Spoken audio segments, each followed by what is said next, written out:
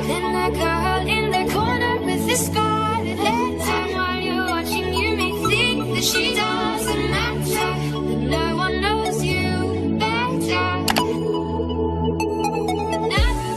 guys! Welcome back to Chris Misal Channel. I hope you enjoy watching my vlog today. Kamusta na kayo mga guys? Ilan days akong walang vlog. So, I hope tadamis nyo ko ng ilang araw. So, mag-vlog ako ngayon guys. Gagawa tayo ng mango ice cream.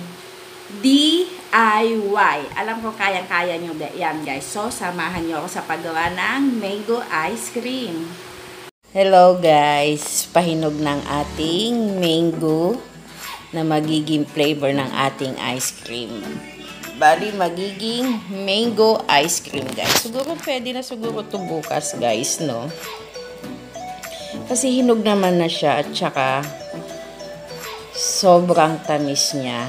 Kasi kaya ko siya pinahihinog kasi ito ang aking flavor bukas guys.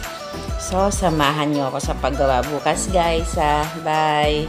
So, guys, ito na ang ating mango na gagawing ating ice cream. So, bali itong tatlo, guys, ay ating ilalagay sa blender. At yung tatlo, eh, pwede nating pang budbud mamaya kapag na-blend na natin. Tsaka ito siya, guys. So, ito ang ating ingredients.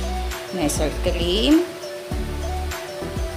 dalawa, at saka ang ating Alaska condensada. So, ilalagay natin siya guys sa ating blender para mag... So guys, itong tatlong to lalagay na natin sa blender. Natin siya. Ayan. Matamis to siyang mangga guys. Kasi, di ba pinakita ko sa inyo yung hilaw pa siya, pinakita ko sa inyo siya. So, ilang days lang naman, nahinog na siya. So, sana kalabasan nito is matamis cream, mango. Avocado sana nga guys, ano, kaso hindi pa siya napapanahon ng avocado ngayon. So, eh, panahon ng mangga. So, ito ang ating gagawin, guys. Sarap din siya to. Mango shake. Maday magagawa sa mango. Yan. Para sobrang tamis.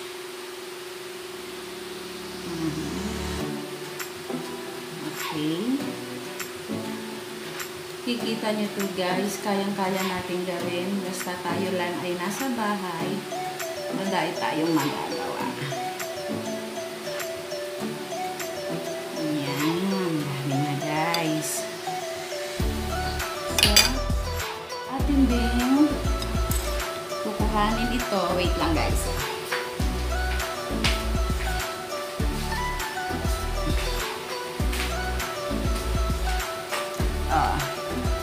Kasi sayang naman yung buto kapag hindi natin siya isasama. Pero dahan-dahan, baka masugat. Ang tamis, ang sarap kainin. Okay. Basta talaga tinatamis siya ng maayos at tinahinan. Sarap.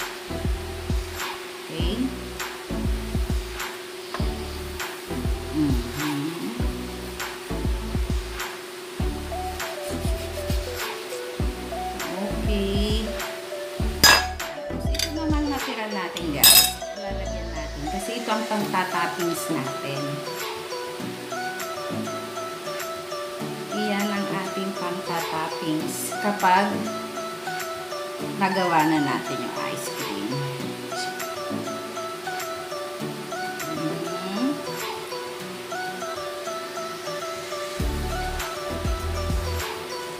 Sarap siguro nito guys.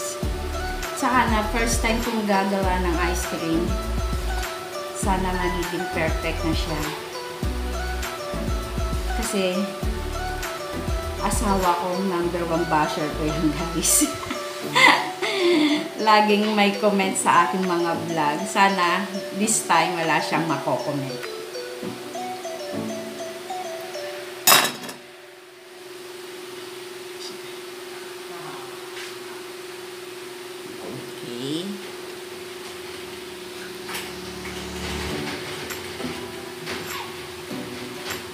Lang guys.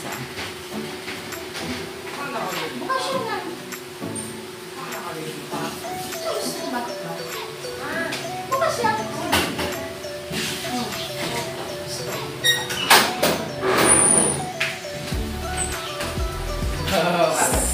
So, eto na guys ang ating pangtatoppings mamaya pag na-blend na natin ang ice cream. So, let's get out! Eto na, blend na natin. Yan. Inyo ha. Okay.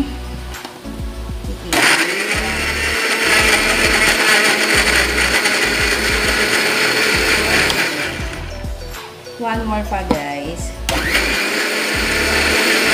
Para pino, para pino-pino siya. Parang gusto ko na siyang gawing mango shake. Kaso isang gatas kasi nabili ko kanina guys eh. Sa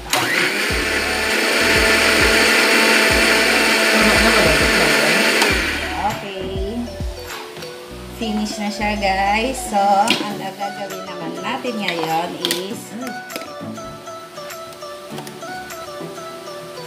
So, finish na siya. Pa-transfer natin siya sa ating imimix na Nestle cream at condense. Ito na siya, guys. Lalagay na natin.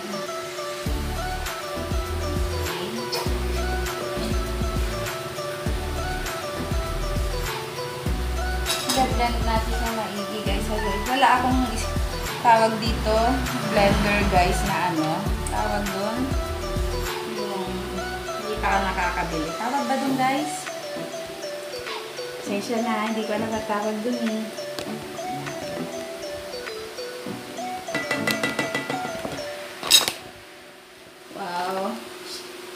Na natin natin ang condense para isang haluan na tayo.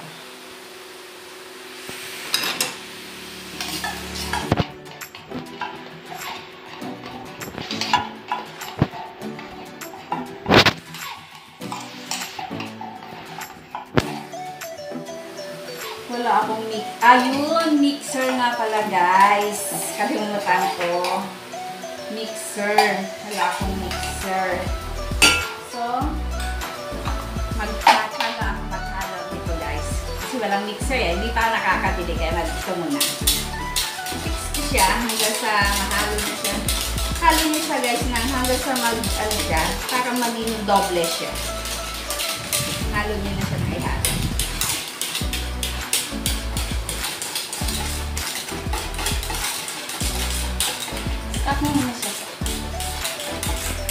guys, nahalo na natin siya. Medyo nag-double-double na siya. Gawa na umano na siya. Na-mix ko na siya. medyo. So, ihahalo naman natin ito. Yung mango na atin yung blend.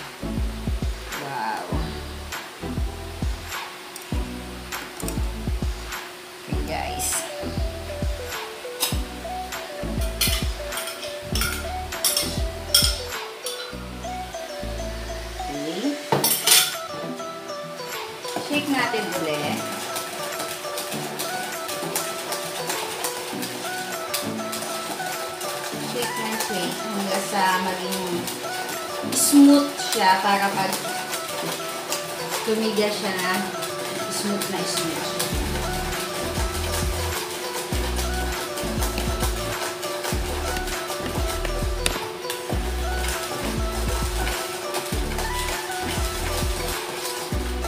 So, lalagay naman natin yung ating ginawa guys. Ito na yon So, aanay na natin. Hanggalin na natin. Ayan. Ito ang gagawin natin toppings.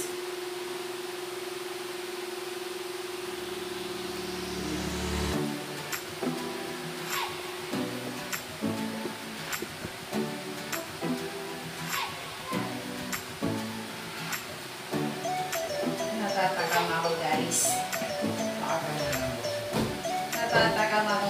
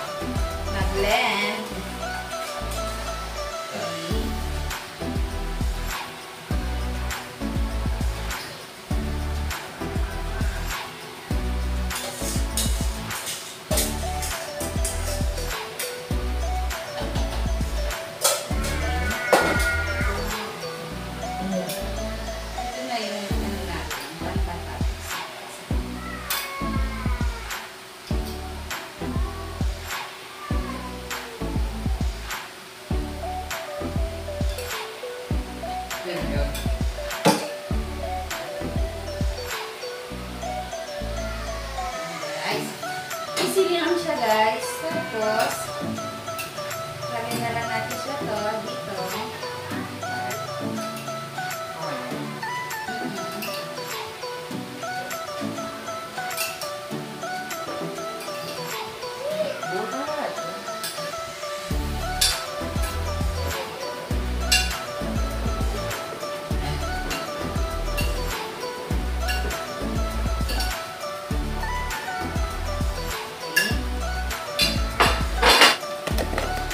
na siya guys, ang ating ice cream. So, takpan natin siya. So, lagay natin siya sa fridge na siguro 8 to 12 hours. Bukas siguro na natin to guys. Ayan. Okay. Okay guys, so, ano? I hope na na-enjoy nyo yung panonood. Tsaka sana may natutunan po kayo ng kaunti sa aking DIY na mango ice cream.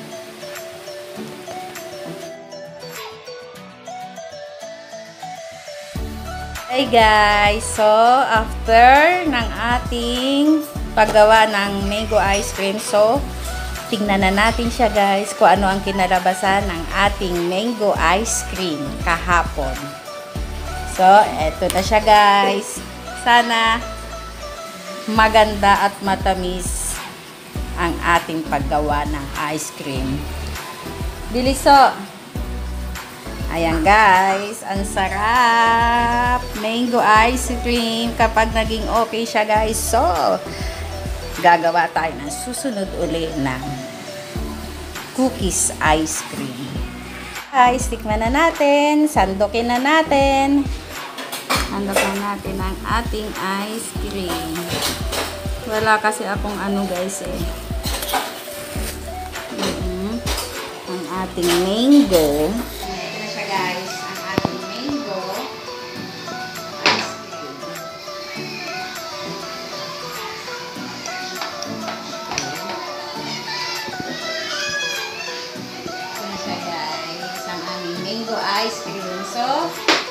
Titikman namin siya guys. Kung tamis, pwede. Mm.